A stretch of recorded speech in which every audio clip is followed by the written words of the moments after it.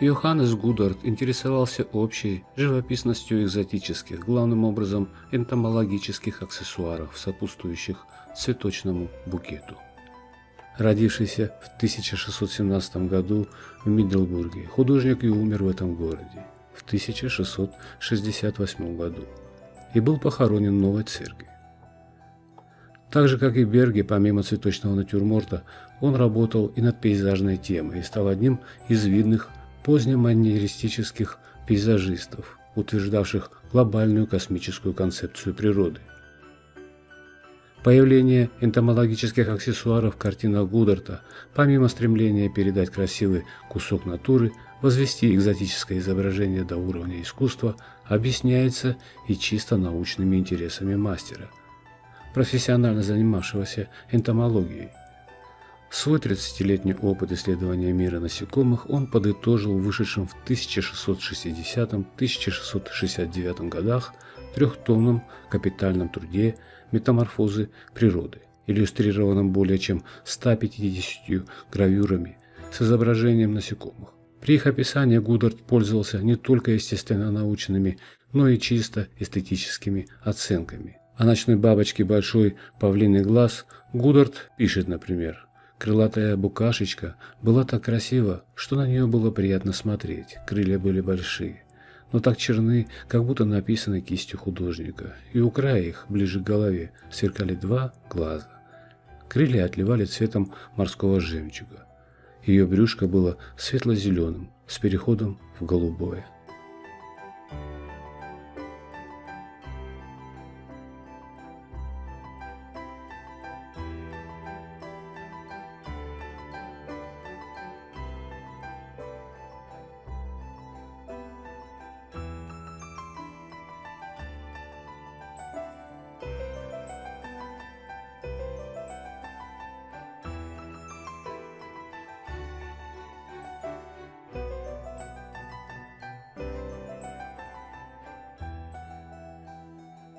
И в живописи кисть художника неизменно направляла аналитический ум биолога.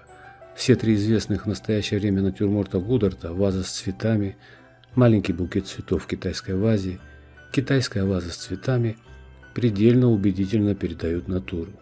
Причем каждый элемент композиции поразительно индивидуален и неповторим, хотя одновременно идеально представляет свой предметный ряд, будь то цветы или насекомые. Наиболее населенной насекомыми из этих трех картин является Роттердамская, как бы иллюстрирующая гудеровские метаморфозы природы. В ней на каменном плинте, наряду с изображением кузнечика, мы видим ползающую со своей раковиной улитку, летающих насекомых, пчелу, ночного мотылька и бабочку адмирала.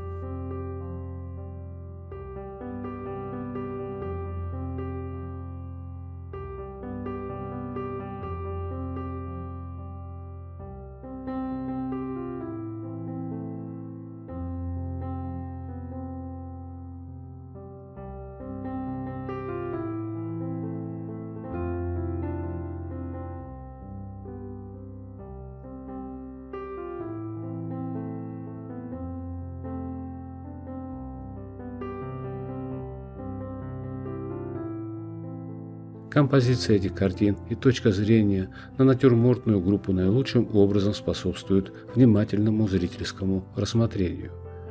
Изображение не бросающихся сразу в глаза деталей картины – своеобразный сюрприз для зрителя, начинающего ее воспринимать именно с этих персонажей натюрморта. Одновременно ювелирная точность их исполнения – показатель художественного мастерства Гударта, живописца и энтомолога.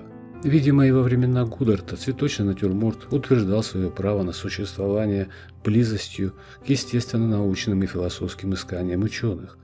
Так пытливый интерес к достоверности передачи натуры приводит к двойственности, двуплановости натюрмортов этого времени.